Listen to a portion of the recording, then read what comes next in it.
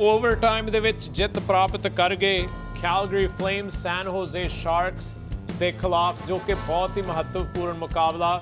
ਦੁਬਾਰਾ ਸਵਾਗਤ ਕਰਦੇ ਹਾਂ ਜੀ ਤੁਹਾਡਾ ਸਾਡੇ ਸਟੂਡੀਓ ਦੇ ਵਿੱਚ। ਮੈਂ ਹਾਂ ਤੁਹਾਡਾ ਹੋਸਟ ਹਰਨਰਾਇਣ ਸਿੰਘ, ਭੁਪਿੰਦਰ ਸਿੰਘ ਹੁੰਦਲ ਤੇ ਰਣਦੀਪ ਜੰਡਾ ਵੀ ਅੱਜ ਜਵਾਬ ਦੇਣ ਵਾਸਤੇ ਤਿਆਰ ਹਨ ਵੀ ਗੇਮ ਦੇ ਵਿੱਚ ਕੀ ਹੋਇਆ, ਕੀ ਨਹੀਂ ਹੋਇਆ। ਪਰ ਸਭ ਤੋਂ ਪਹਿਲਾਂ ਆਪਾਂ ਆਪ ਵੀ ਯਾਦ ਕਰੀਏ ਕਿ ਮੁਕਾਬਲਾ ਬੜਾ ਦਿਲਚਸਪ ਸੀ ਕਿਉਂਕਿ ਕੈਲਗਰੀ ਪਹਿਲਾਂ ਜਿੱਤ ਰਹੇ ਸੀ, ਫਿਰ ਸੈਨ ਹੋਜ਼ੇ ਜਿੱਤ ਰਹੇ ਸੀ। ਅਖੀਰ 'ਚ ਫਸਮਾ ਮੁਕਾਬਲਾ ਰਿਹਾ। ਯਾਦ ਕਰੀਏ ਅੱਜ ਦੇ ਹਾਈਲਾਈਟਸ ਜੋ ਕਿ ਕੈਲਗਰੀ ਆਏ ਹੋਏ ਸੀ ਸੈਨ ਹੋਜ਼ੇ ਕੈਲੀਫੋਰਨੀਆ ਵਿਖੇ। ਪਹਿਲੇ ਪੀਰੀਅਡ ਦੇ ਵਿੱਚ ਹਜੇ ਪਹਿਲਾ ਮਿੰਟ ਚੱਲ ਰਿਹਾ ਸੀ। ਜੋ ਕੋਬਰਨ ਦੇ ਕੋਲ ਪੱਕ, ਵਾਈਡਮੈਨ ਸ਼ਾਟ ਮਾਰਿਆ ਤੇ ਗੋਲ 40 ਸਕਿੰਟਾਂ ਦੇ ਵਿੱਚ। ਬਿਲਕੁਲ ਜੀ, ਪਹਿਲਾ ਚਾਂਸ ਇਹਨੂੰ ਵਾਈਡਮੈਨ ਦੇ ਸ਼ਾਟ ਦੇ ਨਾਲ ਨਹੀਂ ਗੋਲ ਹੋਇਆ। ਦੂਜੀ ਵਾਰੀ ਸਲੈਪ ਸ਼ਾਟ ਮਾਰੀ ਤਾਂ ਗੋਲ ਹੋ ਗਿਆ। ਤੇ ਹੁਣ ਆ ਰਿਹਾ ਸੀ ਕੋਬਰਨ ਸ਼ਾਰਟ ਹੈਂਡਡ ਬਹੁਤ ਹੀ ਸ਼ਾਨਦਾਰ ਗੋਲ ਸਟੇਜਨ ਬਹੁਤ ਵਧੀਆ ਫੋਰ ਚੈਕਿੰਗ ਦੇ ਨਾਲ ਟਰਨਓਵਰ ਕ੍ਰੀਏਟ ਕੀਤਾ ਤਾਂ ਪੱਕ ਦੇਤਾ ਕੋਬਰਨ ਨੂੰ ਕੋਬਰਨ ਨੇ ਕਰਤਾ ਬਹੁਤ ਹੀ ਵਧੀਆ ਗੋਲ ਤੇ ਫਿਰ ਆ ਰਿਹਾ ਸੀ ਦੂਜੇ ਪੀਰੀਅਡ ਦੇ ਵਿੱਚ ਖਚੂਰ ਉਹਦਾ ਸ਼ਾਟ ਉਲਟੀਓ ਤੋਂ ਰੋਕਿਆ ਨਹੀਂ ਗਿਆ। ਹਾਂਜੀ ਜਿੱਦਾਂ ਭੁਪਿੰਦਰ ਜੀ ਕਹਿੰਦੇ ਹੁੰਦੇ ਤੁਸੀਂ ਜੇ ਸ਼ਾਟ ਮਾਰੋਗੇ ਫੇ ਗੋਲ ਹੋਣੇ ਇੱਥੇ ਕਟੂਰ ਨੇ ਮਾਰਿਆ ਤਾਂ ਵਧੀਆ ਗੋਲ ਤੇ ਉਸ ਤੋਂ ਬਾਅਦ ਜੋ ਤੋਰਨ 10ਵਾਂ ਗੋਲ ਉਹਦਾ ਇਸ ਸੀਜ਼ਨ ਦਾ। ਖਾਲੀ ਦਰਵਾਜ਼ਾ ਵਧੀਆ ਸੇਵ ਕੀਤਾ ਸੀ ਅਸਲ ਵਿੱਚ ਉਲਟਿਓ ਨੇ ਪਰ ਖਾਲੀ ਦਰਵਾਜ਼ਾ ਜੋ ਤੋੜ ਨੇ ਕਰਤਾ ਗੋਲ ਹਜੇ ਵੀ ਦੂਜੇ ਪੀਰੀਅਡ ਦੇ ਵਿੱਚ। ਹਾਂਜੀ ਮੈਲਕੀ ਕਾਰਲਸਨ ਹਾਂਜੀ ਮੈਲਕੀ ਕਾਰਲਸਨ ਜਿਹੜਾ ਅਨਡਰਾਫਟਡ ਖਿਡਾਰੀ ਸਟਿਕ ਤਾਂ ਲੱਗੀ ਨਹੀਂ ਪਰ ਸਕੇਟ ਨਾਲ ਗੋਲ ਹੋ ਗਿਆ। ਕਿੱਕ ਨਹੀਂ ਮਾਰੀ ਸੀ ਤਾਂ ਰੈਫਰੀ ਕਹਿੰਦਾ ਗੋਲ ਸੋ ਇਹਦੇ ਨਾਲ ਪਹਿਲੀ ਵਾਰ ਗੇਮ ਦੇ ਵਿੱਚ ਜਿੱਤ ਰਹੇ ਸੀ ਸੈਨ ਹੋਜ਼ੇ ਪਰ ਕੈਲਗਰੀ ਫੇਰ ਜਵਾਬ ਉਹਨਾਂ ਨੇ ਦਿੱਤਾ ਤੇ ਇਹ ਸੀ ਯੂਰੀ ਹੁਡਲਰ ਮਾਰਿਆ ਸ਼ਾਟ ਕੀਤਾ ਗੋਲ ਟੰਗ ਦਿੱਤੀ ਪੱਕ ਲੱਕ ਨੇ ਸਾਥ ਨਹੀਂ ਦਿੱਤਾ ਜੋ ਤੋੜਨ ਉਹਨੇ ਸ਼ਾਟ ਬਲੌਕ ਤਾਂ ਵਧੀਆ ਕੀਤਾ ਸੀ ਪਰ ਹੁਡਲਰ ਕੋ ਪੱਕ ਚੱਲ ਗਿਆ ਤਾਂ ਉਹਨੇ ਕਰ ਦਿੱਤਾ ਗੋਲ ਸੋ ਫੇਰ ਓਵਰਟਾਈਮ ਜੋਰਡਾਨੋ ਪੱਕ ਨੈਟ ਵੱਲ ਭੇਜ ਦਿੱਤੀ ਤੇ ਕਿਹਨੇ ਕੀਤਾ ਗੋਲ ਸ਼ੌਨ ਮੋਨਹੈਨ ਸ਼ੌਨ ਮੋਨਹਨ ਨੇ ਸਿੱਧਾ ਜਿਹੜਾ ਫੇਸ ਆਫ ਜਿੱਤ ਕੇ ਨੈਟ ਵੱਲ ਗਿਆ ਉੱਥੇ ਰੀਬਾਉਂਡ ਆਇਆ ਤਾਂ ਕੋਈ ਮਿਸਟੇਕ ਨਹੀਂ ਕੀਤਾ। ਸ਼ੌਨ ਮੋਨਹੈਨ ਵੀ ਬੜੀ ਦੇਰ ਬਾਅਦ ਗੋਲ ਕੀਤਾ। ਆਪਾਂ ਵੀ ਜ਼ਿਕਰ ਕਰ ਰਹੇ ਸੀ ਗੇਮ ਦੇ ਵਿੱਚ। ਸੋ ਹੁਣ ਤੁਸੀਂ ਦੱਸੋ ਜੀ ਸਟੈਂਡਿੰਗਸ ਮੁਤਾਬਕ ਇਸ ਜਿੱਤ ਜੋ ਕਾਫੀ ਮਹੱਤਵਪੂਰਨ ਗੇਮ ਸੀ ਕੈਲਗਰੀ ਵਾਸਤੇ ਸੈਨ ਹੋਜ਼ੇ ਵਾਸਤੇ ਵੀ ਸੋ ਕੀ ਨਤੀਜਾ ਨਿਕਲਦਾ ਸਟੈਂਡਿੰਗਸ ਮੁਤਾਬਕ? ਉਹ ਸੈਨ ਹੋਜ਼ੇ ਐਟ ਇੱਕ ਪੁਆਇੰਟ ਤਾਂ ਚੱਕਿਆ ਹੈਗਾ ਉਹ ਵੈਨਕੂਵਰ ਨੂੰ ਪਾਰ ਕਰਕੇ ਹੈਗੇ ਹੁਣ ਪੰਜਵੇਂ ਸਥਾਨ ਹੈਗੇ ਆ ਪੂਰੇ ਵੈਸਟਰਨ ਕਾਨਫਰੰਸ ਦੇ ਵਿੱਚ ਦੂਜੇ ਸਥਾਨ ਪੈਸੀਫਿਕ ਡਿਵੀਜ਼ਨ ਦੇ ਵਿੱਚ ਦੂਜੇ ਪਾਸੇ ਕੈਲਗਰੀ ਹੁਣ ਇਸ ਸਮੇਂ ਪਲੇਆਫ ਸਥਾਨ ਦੇ ਵਿੱਚ ਹੈਗੇ ਆ ਉਹਨਾਂ ਕੋ ਅ, 51 ਪੁਆਇੰਟਸ ਹੈਗੇ ਆ ਇਸ ਸਮੇਂ ਲਾਸ ਐਂਜਲਸ ਜੇਕਰ ਅੱਜ ਜਿੱਤ ਜਾਂਦੇ ਆ ਤਾਂ ਉਹਨਾਂ ਨੂੰ ਪਾਰ ਕਰ ਜਾਣਗੇ। ਲਾਸ ਐਂਜਲਸ ਇਸ ਸਮੇਂ 2-1 ਦੇ ਸਕੋਰ ਦੇ ਨਾਲ ਅੱਗੇ ਨੇ ਐਨਾਹਾਈਮ ਦੇ ਵਿਰੁੱਧ। ਸੋ ਦੇਖਣਾ ਪਵੇਗਾ, ਅੱਜ ਰਾਤ ਦੇ ਅਖੀਰ ਤੱਕ ਵੀ ਉਸ ਲਾਸ ਐਂਜਲਸ ਵਾਲੇ ਮੁਕਾਬਲੇ 'ਚ ਕੀ ਹੁੰਦਾ। ਅੱਗੇ ਜਾਣਦੇ ਆ ਜੀ ਟੋਰਾਂਟੋ ਮੇਪਲ ਲੀਫਸ ਦਾ ਮੁਕਾਬਲਾ ਸੇਂਟ ਲੂਇਸ ਬਲੂਜ਼ ਦੇ ਨਾਲ ਤੇ ਮੇਪਲ ਲੀਫਸ ਵਾਸਤੇ ਵੀ ਜਿੱਤਣਾ ਬਹੁਤ ਜ਼ਰੂਰੀ ਸੀ। ਪਿਛਲੀਆਂ ਤਿੰਨ ਗੇਮਾਂ ਕੈਲੀਫੋਰਨੀਆ ਦਾ ਰੋਡ ਟ੍ਰਿਪ ਇੰਨਾ ਵਧੀਆ ਨਹੀਂ ਚੱਲ ਰਿਹਾ। ਸ਼ਟ ਆਊਟ ਵੀ ਦੋ ਵਾਰ ਹੋ ਚੁੱਕੇ ਸੀਗੇ ਤੇ ਇੱਥੇ ਦੇਖੋ ਡੈਨ ਵਿਨਿਕ ਦਾ ਮੌਕਾ ਪਹਿਲੇ ਪੀਰੀਅਡ ਦੇ ਵਿੱਚ। ਬਹੁਤ ਹੀ ਵਧੀਆ ਮੌਕਾ ਪਰ ਕ੍ਰਾਸ ਬਾਲ ਦੇ ਵਿੱਚ ਵੱਜਿਆ। ਗੋਲ ਵੀ ਨਹੀਂ ਹੋ ਰਿਹਾ ਟੋਰਾਂਟੋ ਤੋਂ ਵਿਚਾਰਿਆਂ ਤੋਂ। ਸੋ ਹੁਣ ਚੱਲਦੇ ਹਜੇ ਵੀ ਪਹਿਲੇ ਪੀਰੀਅਡ ਦੇ ਵਿੱਚ ਜਦੋਂ ਸ਼ੈਟਨਕਰਕ ਕਿਆ ਬੈਕਹੈਂਡਰ ਸ਼ਾਟ ਜਿਹੜਾ ਬਰਨੀਏ ਤੋਂ ਰੋਕ ਨਹੀਂ ਹੋਇਆ। ਬਿਲਕੁਲ ਜੀ ਜੇਵੀਆਰ ਨੇ ਸ਼ੈਟਨਕਰਕ ਨੂੰ ਥਾਂ ਦਿੱਤਾ ਕਹਿੰਦਾ ਕੋਈ ਗੱਲ ਨਹੀਂ ਮੈਂ ਬੈਕਹੈਂਡ ਮਾਰ ਕੇ ਗੋਲ ਕਰ ਦਿੱਤਾ। ਚਲੋ ਜੀ ਦੂਜੇ ਪੀਰੀਅਡ ਦੇ ਵਿੱਚ ਕਿਆ ਮੌਕਾ ਸੀ? ਅਖੀਰਲੇ 10 ਸਕਿੰਟਾਂ 'ਚ ਬੋਜ਼ੈਕ ਕੈਸਲ ਤੇ ਜੇਵੀਆਰ ਬਹੁਤ ਹੀ ਵਧੀਆ ਮੌਕਾ ਸੀ ਖੇਲੇ ਸਕਿੰਟਾਂ ਦੇ ਵਿੱਚ ਪਰ ਜਿੱਦਾਂ ਮੈਂ ਜ਼ਿਕਰ ਕੀਤਾ ਲੱਕ ਨਹੀਂ ਇਹਨਾਂ ਨੂੰ ਸਾਥ ਦੇ ਰਹੀ ਇਸ ਸਮੇਂ। ਜਾਨੇ ਤੀਜੇ ਪੀਰੀਅਡ ਦੇ ਵਿੱਚ ਐਲੈਕਸ ਸੀਨ ਪਾਸ ਬੈਕਸ ਨੂੰ ਬੈਕਸ ਕਹਿੰਦਾ ਤੂੰ ਹੀ ਫੜ ਤੇ ਬਹੁਤ ਹੀ ਸ਼ਾਨਦਾਰ ਗੋਲ ਬੈਕਹੈਂਡਰ ਤੰਗ ਦਿੱਤੀ ਪਕਸਟੀਨ ਨੇ। ਬਿਲਕੁਲ ਜੀ ਬੈਕਹੈਂਡ ਗੋਲ ਵਧੀਆ ਸੀ ਡਿਫੈਂਸ ਵੀ ਥੋੜੀ ਢਿੱਲੀ ਸੀ ਪਰ ਪਰ ਐਲੈਕਸ ਟੀਨ ਦਾ ਉਹ ਵਧੀਆ ਗੋਲ ਸੀ। ਤੇ ਇਹ ਸੀ 2-0 ਦੀ ਲੀਡ ਜੋ ਫੜ ਲਈ ਸੇਂਟ ਲੂਇਸ ਬਲੂਜ਼ ਦੇ ਪ੍ਰੇਮੀ ਖਾਸ ਕਰਕੇ ਨੌਜਵਾਨ ਬੜੇ ਹੀ ਖੁਸ਼ ਕੈਸਲ ਸੱਟ ਇੱਥੇ ਲੱਗ ਗਈ। ਹਾਂ ਧੱਕੇ ਮਾਰਨ ਨੂੰ ਤਾਂ ਬੜੇ ਤੇਜ਼ ਨੇ। ਸੇਂਟ ਲੂਇਸ ਬਲੂਜ਼ ਦਾ ਧੱਕਾ ਖਾਦਾ ਖੈਸਲ ਨੇ। ਉਹ ਵੀ ਪੱਕ ਹੈ ਨਹੀਂ ਸੀ। ਸ਼ਾਇਦ ਪੈਨਲਟੀ ਸੱਦਣੀ ਚਾਹੀਦੀ ਸੀ। ਫਿਰ ਬੈਕਸ ਦਾ ਲੰਬਾ ਪਾਸ ਸਟੀਨੋ ਦੋ ਤੇ ਇੱਕ ਹੋ ਗਿਆ। ਟੀਜੀ ਓਸ਼ੀ ਉਹ ਵੀ ਬਰਨੀਏ ਕੋਈ ਜਵਾਬ ਨਹੀਂ ਦੇ ਸਕਿਆ। 3-0 ਸੇਂਟ ਲੂਇਸ ਨਾ ਜੀ ਨਾ ਦੋ ਤੇ ਇੱਕ ਤੇ ਸੀ ਤਾਂ ਇੱਥੇ ਹੋਲਜ਼ਰ ਉਦਾਂ ਹੀ ਵਿਚਾਰਾ ਗੁੱਸੇ ਸੀ। ਸਟੀਨ ਨੇ ਇੱਕ ਤੋਂ ਚੰਗੀਆਂ ਮਾੜੀਆਂ ਗੱਲਾਂ ਕਹੀਆਂ। ਤਾਂ ਮਾਰਿਆ ਉੱਥੇ ਕਸੁੰਨ ਚੱਜ ਨਾਲ। ਸੋ ਨਾਲ ਦੀ ਨਾਲ ਟੋਰਾਂਟੋ ਦੀ ਗੱਲਬਾਤ ਇਹ ਹੈ ਕਿ ਪਹਿਲੀ ਵਾਰ 1953-54 ਵਾਲੇ ਸੀਜ਼ਨ ਤੋਂ ਲੈ ਕੇ ਹੁਣ ਤੱਕ ਚਾਰ ਗੇਮਾਂ 'ਚ ਤਿੰਨ ਵਾਰੀ ਸ਼ਟ ਆਊਟ ਇਹਨਾਂ ਨੂੰ ਮੰਨਣਾ ਪਿਆ। ਸੋ ਸੇਂਟ ਲੂਇਸ ਜਿੱਤ ਗਏ 3-0 ਜਾਣੇ ਆਪਾਂ ਹੁਣ ਮੌਂਟਰੀਅਲ ਦੇ ਵਿੱਚ, ਜਿੱਥੇ ਡਸਟਨ ਟਕਾਰਸਕੀ ਤਿਆਰ ਸੀ ਮੁਕਾਬਲਾ ਖੇਡਣ ਵਾਸਤੇ ਕੈਰੀ ਪ੍ਰਾਈਸ ਨੂੰ ਸੱਟ ਲੱਗੀ ਹੋਈ ਹੈ। ਤੇ ਉਧਰੋਂ ਦੂਜੇ ਪਾਸੇ ਕਪਤਾਨ ਜੌਨ ਟਵੇਰਸ ਜੋ ਕਿ ਬਹੁਤ ਹੀ ਛਾ ਗਿਆ ਹੈ ਹਾਕੀ ਦੀ ਦੁਨੀਆ ਦੇ ਵਿੱਚ। ਪਹਿਲਾ ਪੀਰੀਅਡ ਤੇ ਪਾਵਰ ਪਲੇ ਤੇ ਪੀਕੇ ਸੂਬਨ ਚਪੇੜ ਸ਼ਾਟ ਨਾਲ ਗੋਲ ਹਾਂਜੀ ਇਹ ਤਾਂ ਸਿੰਪਲ ਗੱਲ ਆ। ਜ਼ੋਰ ਦੇ ਨਾਲ ਸ਼ਾਟ ਮਾਰੋ ਗੋਲੀ ਨੂੰ ਬੀਟ ਕਰ ਦਿੱਤਾ। 1-0 ਮੌਂਟਰੀਅਲ ਸੋ ਇੱਥੇ ਹੁਣ ਪਹਿਲੇ ਪੀਰੀਅਡ ਦੇ ਵਿੱਚ ਜਸਟਨ ਟਕਾਰਸਕੀ ਚੋਰੀ ਕੀਤਾ ਇੱਕ ਗੋਲ ਕੇਰੀ ਪ੍ਰਾਈਸ ਭਾਵੇਂ ਨਾ ਖੇਡਦਾ ਹੋਗਾ ਇਦਾਂ ਦੇ ਗੋਲ ਟੈਂਡਿੰਗ ਫੇ ਵੀ ਮਿਲਦੀ ਹੈ ਮੌਂਟਰੀਅਲ 'ਚ। ਦੂਜੇ ਪੀਰੀਅਡ ਦੇ ਵਿੱਚ ਪਲਕੈਨਿਟਸ ਜਾ ਰਿਹਾ ਸੀ ਨੈਟ ਵੱਲ ਉਹਦੇ ਨਾਲ ਡੇਲ ਵੀਸ ਤੇ ਬਹੁਤ ਹੀ ਵਧੀਆ ਗੋਲ ਬਣਾ ਗਿਆ।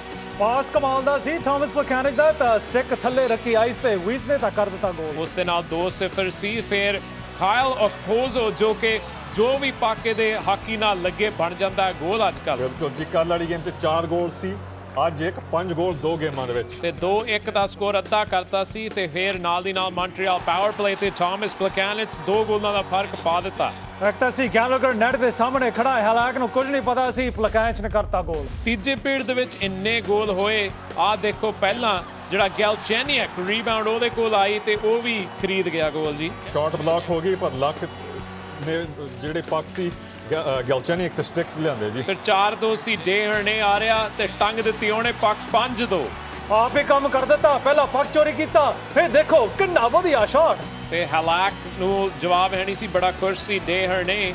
ਤੇ ਪਲਕੈਨਿਟਸ 2 ਤੇ 1 ਹੋਇਆ ਆਪ ਹੀ ਉਹਨੇ ਸ਼ਾਟ ਮਾਰਿਆ ਆਪ ਹੀ ਕਰ ਗਿਆ ਗੋਲ ਬਿਲਕੁਲ ਜੀ ਯਾਰੋਸਲਾਵ ਹਲਾਕ ਹੁੰਦਾ ਸੀ ਮੌਂਟਰੀਅਲ ਦਾ ਗੋਲੀ। ਗੋਲ ਉਹਦੇ ਟੰਗ ਦਿੱਤਾ ਤਾਂ ਕਹਿੰਦਾ ਆ ਲੈ ਹਲਾਕ।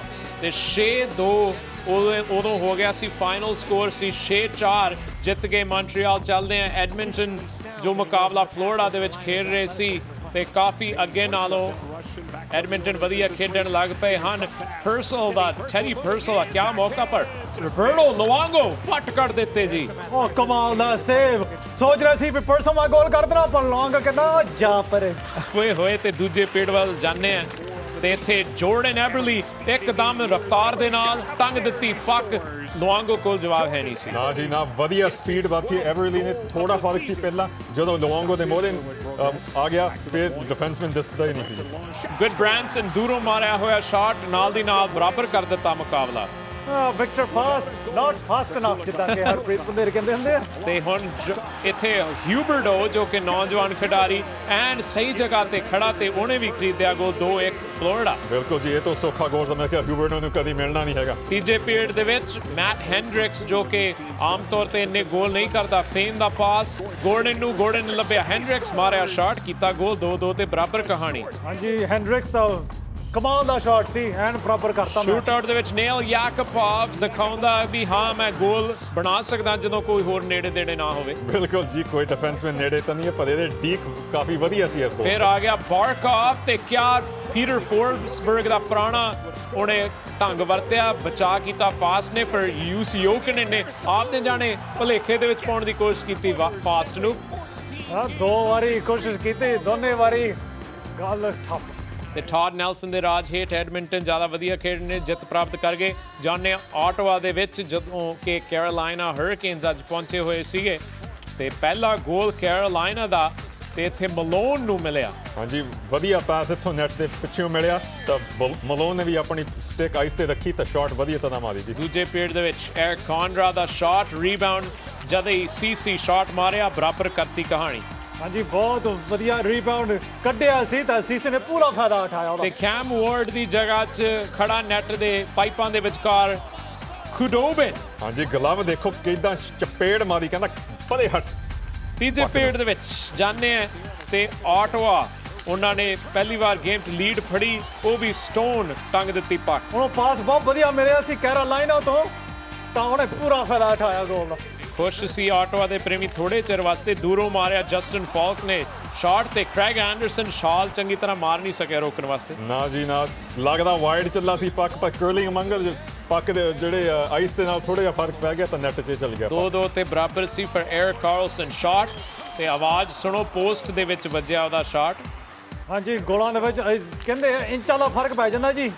ਤੇ ਫਿਰ ਨੇਥਨ ਗਰਬੀ NHL ਦਾ ਸਭ ਤੋਂ ਛੋਟਾ ਕੱਦ ਦੇ ਵਿੱਚ ਖਿਡਾਰੀ ਉਹਨੇ ਬਣਾ ਲਿਆ ਗੋਲ, ਜਿਹੜਾ ਕਿ ਗੇਮ ਦਾ ਜਿੱਤਵਾਂ ਗੋਲ ਨਿਕਲਿਆ ਸੀ ਤੇ 3-2 ਦਾ ਸਕੋਰ ਜੋ ਬਣ ਗਿਆ, ਉਸ ਤੋਂ ਬਾਅਦ ਭਾਵੇਂ ਕੋਸ਼ਿਸ਼ ਤਾਂ ਸੀ ਕਾਰਲਸਨ ਦੀ, ਫੇਰ ਸਰੀਏ ਦੇ ਵਿੱਚ ਵੱਜਿਆ ਤੇ ਆਟਵਾ ਉਸ ਕਾਰਨ ਕਿਸਮਤ ਨੇ ਸਾਥ ਨਹੀਂ ਦਿੱਤਾ ਤੇ ਇੱਕ ਗੋਲ ਦੇ ਫ਼ਰਕ ਦੇ ਨਾਲ ਆਟਵਾ ਹਾਰ ਗਏ। ਦੂਜੇ ਜਿਹੜੇ ਕੈਨੇਡੀਅਨ ਸ਼ਹਿਰ ਹਨ, ਉਹਨਾਂ ਬਾਰੇ ਵੀ ਜ਼ਿਕਰ ਕਰੀਏ। ਸਭ ਤੋਂ ਪਹਿਲਾਂ ਵੈਨਕੂਵਰ ਕਨਾਕਸ ਜੋ ਕਿ ਉਹਨਾਂ ਦਾ ਰੋਡ ਟ੍ਰਿਪ ਚੱਲ ਰਿਹਾ, ਪਰ ਰੋਡ ਟ੍ਰਿਪ ਦੇ ਵਿੱਚ ਕਾਮਯਾਬੀ ਭਾਵੇਂ ਪਹਿਲਾਂ ਨਹੀਂ ਮਿਲੀ, ਪਰ ਉਸ ਤੋਂ ਬਾਅਦ ਸਮਕਾ ਮਿਲਣ ਲੱਗ ਪਈ। ਬਿਲਕੁਲ ਜੀ, ਪਹਿਲੀ ਗੇਮ ਕਾਫੀ ਬੁਰੀ ਤਰ੍ਹਾਂ ਐਡੀ ਲੈਕ ਨੇ ਬੜਾ ਵਧੀਆ ਨਹੀਂ ਖੇਡਿਆ ਨੈਸ਼ਨਲ ਤੋਂ ਹਾਰ ਗਏ ਸੀ। ਪਰ ਦੋ ਕਮਜ਼ੋਰ ਟੀਮਾਂ ਦੇ, ਆਹ ਦੇਖੋ ਗੋਲ ਕਮਾਲ ਦਾ ਗੋਲ ਨਿਕ ਬਨੀਨੋ ਨੇ ਕੀਤਾ, ਸਪਿਨਰ ਆਮਾ ਕਹਿ ਸਕਦੇ ਹਾਂ। ਪਹਿਲਾਂ ਫਿਲਡਲਫੀਆ ਨੂੰ ਹਰਾਇਆ ਫੇ ਕੱਲ ਕੈਰੋਲਾਈਨਾ ਨੂੰ ਦੋ ਮਾੜੀਆਂ ਟੀਮਾਂ, ਕਮਜ਼ੋਰ ਟੀਮਾਂ ਆ ਜੀ, ਪਰ ਫੇ ਵੀ ਪੁਆਇੰਟ ਤਾਂ ਉਨੇ ਹੀ ਮਿਲਦੇ ਆ ਜੀ। ਸੋ ਹੁਣ ਆਉਣ ਵਾਲੇ ਸਮੇਂ 'ਚ ਸਾਨੂੰ ਮਿਲਣ ਨੂੰ ਦੱਸੂਗਾ, ਪਹਿਲਾਂ ਫਲੋਰੀਡਾ ਦੇ ਨਾਲ ਮੁਕਾਬਲਾ ਲੋਰੋਡੋ ਲਵਾਂਗ, ਜਿਹੜਾ ਇਹਨਾਂ ਦਾ ਪੁਰਾਣਾ ਗੋਲ ਹੀ ਆ, ਤਾਂ ਫਿਰ ਟੌਪ ਦੀ ਟੀਮ ਟੈਂਪਾ ਬੇ ਦੇ ਨਾਲ ਮਿਲੂਗਾ ਇੱਕ ਹੋਰ ਮੁਕਾਬਲਾ। ਸੋ ਗੋਲ ਤਾਂ ਕਰੀ ਜਾਂਦੇ ਆ, ਪਰ ਇਹ, ਇਹਨਾਂ ਦੀ ਇਹ ਗੱਲ ਆ, ਵਧੀਆ ਟੀਮਾਂ ਦੇ ਖਿਲਾਫ, ਖਾਸ ਕਰਕੇ ਟੈਂਪਾ ਬੇ ਦੇ ਖਿਲਾਫ, ਪਿਛਲੀ ਵਾਰੀ ਫਲੋਰੀਡਾ ਦੇ ਨਾਲ ਵੀ ਖੇਡੇ ਸੀ, ਉਹਨਾਂ ਦੇ ਨਾਲ ਗੋਲ ਕਰ ਸਕਦੇ ਆ ਜਾਂ ਨਹੀਂ? ਸੋ ਇਹ ਕਮਜ਼ੋਰ ਟੀਮਾਂ ਦੇ ਖਿਲਾਫ ਤਾਂ ਗੋਲ ਟੈਂਡਿੰਗ ਵੀ ਬਹੁਤ ਵਧੀਆ ਰਹੀ ਹੈ। ਰਾਇਨ ਮਿਲਰ ਦੇ ਲਗਾਤਾਰ ਦੋ ਸ਼ਟ ਆਊਟ ਹੋਏ ਨੇ। ਪਰ ਜਿਹੜੀਆਂ ਵਧੀਆ ਟੀਮਾਂ ਹੈਗੀਆਂ, ਖਾਸ ਕਰਕੇ ਦੋ ਫਲੋਰਡਾ ਵਾਲੀਆਂ ਟੀਮਾਂ, ਇੱਕ ਹੈਗੀ ਆ ਜਿਹੜੀ ਦੋ ਫਲੋਰਡਾ ਵਾਲੀਆਂ ਟੀਮਾਂ, ਉਹ ਦੇਖਣਾ ਪੈਣਾ ਜੀ। ਤੇ ਹੁਣ ਵਿਨਿਪੈਗ ਜੈਟਸ ਦੇ ਬਾਰੇ ਵੀ ਗੱਲ ਕਰ ਰਹੇ ਹਾਂ ਕਿ ਉਹਨਾਂ ਦੀ ਗੱਡੀ ਕੌਣ ਰੋਕੇ? ਬਹੁਤ ਵਧੀਆ ਢੰਗ ਨਾਲ ਪਲੇਆਫ ਸਥਾਨ ਦੇ ਵਿੱਚ ਹਨ, ਭੁਪਿੰਦਰ ਜੀ। ਹਾਂਜੀ, ਬਿਲਕੁਲ ਜੀ 7 ਪੁਆਇੰਟਸ ਅੱਗੇ ਹੈਗੇ ਆ ਦੂਜੀਆਂ ਟੀਮਾਂ ਨਾਲੋਂ ਪਹਿਲੇ ਵਾਈਲਡ ਕਾਰਡ ਦੇ ਸਥਾਨ ਤੇ ਹੈਗੇ ਆ। ਐਨਾਹਾਈਮ ਨੂੰ ਚੰਗੀ ਤਰ੍ਹਾਂ ਹਰਾਇਆ ਖੇਡੇ ਸੀ, ਪਰ ਉਹ ਮੈਚ ਜਿੱਤੇ ਨਹੀਂ। ਵੱਖਰੇ ਵੱਖਰੇ ਤਰੀਕੇ ਨਾਲ ਜਿੱਤ ਰਹੇ ਆ। ਬਥੇਰੇ ਗੋਲ ਕੀਤੇ ਫਲੋਰੀਡਾ ਦੇ ਵਿਰੁੱਧ ਫੈਬਲਕ ਕਮਾਲ ਦੀ ਖੇਡ ਡਾਲਸ ਦੇ ਵਿੱਚ ਤਾਂ ਸ਼ਿਕਾਗੋ ਨੂੰ ਹਰਾਤਾ। ਇਸ ਸੀਜ਼ਨ ਦੇ ਵਿੱਚ ਤਿੰਨ ਵਾਰੀ ਸ਼ਿਕਾਗੋ ਨੂੰ ਹਰਾਇਆ। ਸ਼ਿਕਾਗੋ ਦੇ ਵਿੱਚ ਕਿਹੜੀ ਟੀਮ ਹੈਗੀ ਹੈ ਜਿਹੜੇ ਕਿ ਸ਼ਿਕਾਗੋ ਦੇ ਜਾ ਕੇ ਇੰਨੀ ਕਾਮਯਾਬੀ ਮਿਲੀ ਹੋਵੇ? ਹੈਰਾਨੀ ਵਾਲੀ ਗੱਲ ਹੈ, ਸੋ ਦੇਖ ਲਓ ਵੀ 2006-7 ਸੀਜ਼ਨ ਤੋਂ ਲੈ ਕੇ ਹੁਣ ਤੱਕ ਕਿਸੇ ਵੀ ਨਹੀਂ ਇਦਾਂ ਦਾ ਕੰਮ ਕੀਤਾ ਸ਼ਿਕਾਗੋ ਦੇ ਵਿਰੁੱਧ। ਸ਼ਿਕਾਗੋ ਦੀ ਟੀਮ ਤਾਂ ਸਾਰਿਆਂ ਨੂੰ ਪਤਾ ਆ ਵੀ ਕਮਾਲ ਦੀ ਹੈਗੀ ਆ। ਵਿਨਿਪੈਗ ਜੈਟਸ ਜਿਸ ਤਰੀਕੇ ਦੇ ਨਾਲ ਖੇਡਦੇ ਆ। ਹੈਰਾਨੀ ਵਾਲੀ ਗੱਲ ਆ, ਪਰ ਬਹੁਤ ਵਧੀਆ ਤਰੀਕੇ ਦੇ ਨਾਲ ਖੇਡਿਆ ਖਾਸ ਕਰਕੇ ਇਹਨਾਂ ਦਾ ਰੋਡ ਰੈਕਡ ਜੇ ਤੁਸੀਂ ਦੇਖੋ, ਬਹੁਤ ਹੀ ਵਧੀਆ ਹੈਗਾ ਆ। ਇਹਨਾਂ ਦਾ ਰੋਡ ਰੈਕਡ 14 ਮੈਚ ਜਿੱਤੇ ਆ 5 ਹਾਰੇ ਰੈਗੂਲੇਸ਼ਨ ਦੇ ਵਿੱਚ 5 ਹਾਰੇ ਆ ਓਵਰਟਾਈਮ ਜਾਂ ਸ਼ੂਟ ਆਊਟ ਦੇ ਵਿੱਚ। ਇਦਾਂ ਦਾ ਰੋਡ ਰੈਕਡ ਦੇ ਨਾਲ ਤੁਸੀਂ ਕਾਮਯਾਬੀ ਹਾਸਲ ਕਰ ਸਕਦੇ ਆ ਰੈਗੂਲਰ ਸੀਜ਼ਨ ਵਿੱਚ। ਪਰ ਖਾਸ ਕਰਕੇ ਜੇਕਰ ਤੁਸੀਂ ਪਲੇਆਫਸ ਦੇ ਵਿੱਚ ਪਹੁੰਚਦੇ ਨੇ, ਉੱਥੇ ਤੁਹਾਨੂੰ ਬਹੁਤ ਜ਼ਿਆਦਾ ਕਾਮਯਾਬੀ ਮਿਲ ਸਕਦੀ ਆ। ਤਾਂ ਅਸਲ ਦੇ ਵਿੱਚ ਇਸ ਹਫ਼ਤੇ ਉਹਨਾਂ ਨੇ ਦਿਖਾਇਆ ਡੈਲਸ ਤਾਂ ਸ਼ਿਕਾਗੋ ਦੇ ਵਿੱਚ ਜਾ ਕੇ ਦੋਨੇ ਟੀਮਾਂ ਨੂੰ ਹਰਾ ਦਿੱਤਾ। ਬਹੁਤ ਹੀ ਵਧੀਆ ਗੱਲ। ਆ ਪਾਲ ਮਰੀਸ ਦੀ ਵੀ ਸ਼ਲਾਘਾ ਹੋ ਰਹੀ ਹੈ ਐਨਐਚਐਲ ਦੀ ਦੁਨੀਆ 'ਚ। ਮੇਰਾ ਖਿਆਲ ਜੇ ਨੈਸ਼ਵਿਲ ਦੇ ਵਿੱਚ ਇੰਨੀ ਕਾਮਯਾਬੀ ਲੈਵਿਓਲੈਟ ਨੂੰ ਨਾ ਮਿਲਦੀ ਤਾਂ ਪਾਲ ਮਰੀਸ ਨੂੰ ਚੱਕ ਕੇ ਹੁਣੇ ਹੀ ਜੈਕ ਐਡਮਸ ਟਰੋਫੀ ਉਹਨਾਂ ਨੇ ਦੇ ਦੇਣਾ। ਸੀ ਕੀ ਵਿਚਾਰ? ਬਿਲਕੁਲ ਜੀ ਪੌਲ ਮਰੀਸ ਨੇ ਜਿਹੜੀ ਕੰਮ ਵਿਨਿਪੈਗ ਚ ਕੀਤਾ, ਉਹ ਕਮਾਲ ਦਾ ਕੰਮ ਆ। ਖਾਸ ਕਰਕੇ ਚੇਤਾ ਰੱਖੋ, ਜਦੋਂ ਇਹ ਇੰਜਰੀਆਂ, ਸੱਟਾਂ ਲੱਗੀਆਂ ਸੀ ਡਸਟਨ ਬਫਲਨ ਨੂੰ ਮੁੜ ਕੇ ਡਿਫੈਂਸ ਤੇ ਤੇ ਡਸਟਨ ਬਫਲਨ ਦੀ ਜਿਹੜੀ ਖੇਡ ਆ ਜਿਹੜੇ ਦੂਜੇ ਖਿਡਾਰੀ ਆ, ਦੂਜੇ, ਉਹ ਮੇਰੇ ਖਿਆਲ ਐਸ ਵੇਲੇ ਕਈ ਡਰਦੇ ਆ ਡਸਟਨ ਬਫਲਨ ਚੱਕ ਕੇ ਮਾਰਨਾ ਖਿਡਾਰੀਆਂ ਨੂੰ, ਉਹ ਆਪਣੀ ਫਿਜ਼ੀਕਲ ਗੇਮ ਇੰਨੀ ਵਧੀਆ ਖੇਡਦਾ ਇਸ ਵੇਲੇ। ਇਹ ਜਿਹੜਾ ਜਸ- ਡਸਟਨ ਬਫਲਨ ਥੋੜਾ ਜਿਹਾ ਸਾਨੂੰ ਸ਼ਿਕਾਗੋ 'ਚ ਦੱਸਿਆ ਸੀ, ਜਦੋਂ ਉਹ ਕੱਪ ਜਿੱਤੇ ਸੀ, ਉਹੀ ਮੇਰੇ ਖਿਆਲ ਉਹ ਤੋਂ ਵੀ ਖਤਰਨਾਕ ਡਸਟਨ ਬਫਲਨ ਦਿਸ ਪਿਆ ਹੁਣ। ਸੋ ਬਹੁਤ ਹੀ ਵਧੀਆ ਵਿਨਿਪੈਗ ਜੈਟਸ ਦਾ ਕੰਮ ਚੱਲ ਰਿਹਾ ਤੇ ਜਿਵੇਂ ਆਪਾਂ ਵੈਨਕੂਵਰ ਦਾ ਵੀ ਦੀ ਗੱਲ ਵੀ ਕੀਤੀ ਸੀ, ਉਹਦੇ 'ਚ ਇਹ ਵੀ ਜ਼ਿਕਰਯੋਗ ਹੈ ਕਿ ਡੈਨ ਹੈਮਹਿਊਸ ਵੀ ਹੁਣ ਵਾਪਸ ਆ ਗਿਆ ਹੈ ਸੱਟ ਲੱਗਣ ਤੋਂ ਬਾਅਦ, ਜਿਹਦੀ ਉਡੀਕ ਕਾਫੀ ਚਿਰਾਂ ਤੋਂ ਕਰ ਰਹੇ ਸੀ। ਸ਼ਾਇਦ ਉਹਦੇ ਆਉਣ ਨਾਲ ਵੀ ਕਾਫੀ ਫ਼ਰਕ ਪਵੇ। ਸੋ ਕੈਨੇਡੀਅਨ ਸ਼ਹਿਰਾਂ ਦੇ ਵਿੱਚੋਂ ਕਈ ਸ਼ਹਿਰ ਹਨ ਜਿਨ੍ਹਾਂ ਨੂੰ ਹਜੇ ਵੀ ਪਲੇਆਫ ਦੇ ਮੌਕੇ ਪਲੇਆਫ ਦੇ ਵਿੱਚ ਜਾਣ ਵਾਸਤੇ ਹਨ। ਦੇਖਣਾ ਪਵੇਗਾ ਆਉਣ ਵਾਲੇ ਹਫ਼ਤਿਆਂ 'ਚ ਕੀ ਹੋਵੇਗਾ। ਅਗਲੇ ਹਫ਼ਤੇ ਸਾਡੇ ਵੱਲੋਂ ਗੈਰ ਹਾਜ਼ਰੀ ਹੋਊਗੀ ਕਿਉਂਕਿ NHL ਦੀ ਆਲ ਸਟਾਰ ਗੇਮ ਹੋਵੇਗੀ। ਉਹ ਤੁਸੀਂ ਅੰਗਰੇਜ਼ੀ ਦੇ ਵਿੱਚ ਦੇਖ ਸਕਦੇ ਆ। ਸਨਿਚਰਵਾਰ ਜਨਵਰੀ 24 ਤਰੀਕ ਨੂੰ ਸੋ- ਜੋ ਕਿ ਸਨਿਚਰਵਾਰ ਨੂੰ ਸਕਿੱਲਸ ਕੰਪੀਟੀਸ਼ਨ ਹੋਵੇਗਾ ਤੇ ਐਤਵਾਰ ਨੂੰ NHL ਦੀ ਆਲ ਸਟਾਰ ਗੇਮ 25 ਤਰੀਕ ਨੂੰ ਹੋਵੇਗੀ। ਸੋ ਉਹ ਤੁਸੀਂ ਮੁਕਾਬਲੇ ਅੰਗਰੇਜ਼ੀ ਦੇ ਵਿੱਚ CBC ਤੇ ਦੇਖ ਸਕਦੇ ਆ। ਹਾਕੀ ਨਾਈਟ ਇਨ ਕੈਨੇਡਾ ਵੱਲੋਂ ਪੰਜਾਬੀ ਦੇ ਵਿੱਚ ਮੁਕਾਬਲੇ ਅਗਲੇ ਹਫ਼ਤੇ ਨਹੀਂ ਹੋਣਗੇ। ਅਸੀਂ ਦੁਬਾਰਾ ਤੁਹਾਨੂੰ ਮਿਲਾਂਗੇ ਜੀ ਜਨਵਰੀ 31 ਤਰੀਕ ਨੂੰ ਜਦੋਂ ਟੋਰਾਂਟੋ ਦਾ ਮੁਕਾਬਲਾ ਫਿਲਾਡੈਲਫੀਆ ਫਲਾਇਰਸ ਦੇ ਵੋਰਚੈਕ ਜਰੂ ਵਰਗੇ ਮਹਾਨ ਖਿਡਾਰੀਆਂ ਨਾਲ ਹੋਵੇਗਾ। ਉਸ ਤੋਂ ਉਪਰੰਤ ਕੈਲਗਰੀ ਤੇ ਐਡਮਿੰਟਨ ਦਾ ਬੈਟਲ ਆਫ ਐਲਬਰਟਾ ਜੋ ਕਿ ਦੇਖਾਂਗੇ ਕਿ ਕੈਲਗਰੀ ਆਪਣੀ ਪਲੇਆਫ ਪੋਜੀਸ਼ਨ ਦੇ ਵਿੱਚ ਕਿੱਥੇ ਤੱਕ ਰਹਿਣਗੇ। ਸੋ ਸਾਰਿਆਂ ਦਾ ਬਹੁਤ-ਬਹੁਤ ਧੰਨਵਾਦ। ਅੱਜ ਟੋਰਾਂਟੋ ਹਾਰ ਉਹਨਾਂ ਨੂੰ ਮੰਨਣੀ ਪਈ, ਪਰ ਕੈਲਗਰੀ ਜਿੱਤ ਗਏ।